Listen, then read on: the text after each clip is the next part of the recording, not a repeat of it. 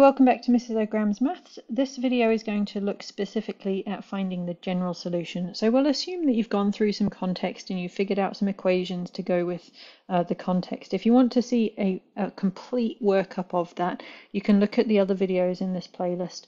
Um, it's called Penguins and Fish and Zombie Apocalypse, where it takes you through the entire context and also finishes with general solutions. For this video, we're just looking at the general solutions part. So we've gone through and got these two equations, and x is measuring the number of years that have passed in whatever context it is that we've been given. So if we take a closer look at uh, those equations, um, we've got, I've written the first one out fully with 2 pi over 8 in, in this part here, so you can think about the repeats. So that means that it repeats every 8 years. And then the second one, equation b, with it being pi by 2, that's the same as 2 pi by 4, so it repeats every 4 years. So we've got these two equations um, creating these sinusoidal curves um, with a repeat that's going to um, line up within that time.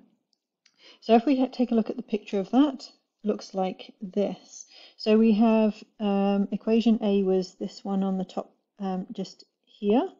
And equation B is the blue one. Okay, so as we go through, we can see that equation A repeats once we hit that eight year mark just here, and equation B repeats just here, uh, sorry, just over here at the four year mark. It starts all over again. So back to the question, um, then you'd be asked something like, when will B be greater than A? So looking at those graphs that we have here, there are times when equation B goes above equation A between those two points just there. Now we also know that that will start to repeat again. So further on along our graph, we can see it happens again just here in the same pattern. And it will go on forever and ever like that. So we need to find a way to represent that. So if we've got these two points here as our starting ones, we'll go from there. So if we take a look at this graph, we can see um, that it goes above A, B goes above A at 4.327 and it stops at 6.584. We express it like this inequality. Now we need to think about how that repeats. So um, equation A repeats every um, eight years and equation B repeats every four years. So combined, they will keep lining up again every eight years. So this is how you would write that out. Now what we're looking for to find that the repeating number there, the 8, we're looking for the lowest common multiple of each of those numbers for the repeats. So the lowest common multiple of 8 and 4 is 8.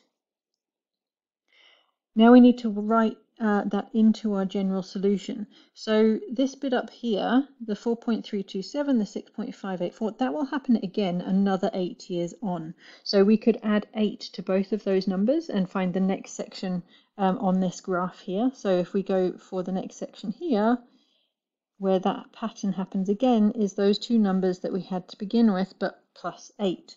So we need to write in that we could add eights on. So we would go 4.327 plus 8. But we could do 8 a number of times. So we put an n as a counter. So we could do 8 times 1, 8 times 2, 8 times 3. We could do it as many times as we want. And the same for our, the upper limit of our interval 2. We can add on multiples of 8.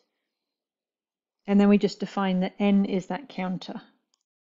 So we finish up by saying where n is a positive integer counting the number of periods of eight years covered. So if we wanted the interval that was in the first eight years, n would be zero. So it's just the 4.327 up to 6.584. If we want the interval that's another two cycles on from that, then n would be two, and it would give us the interval that was uh, 16 years on from the initial interview interval. And that is how you find the general solution.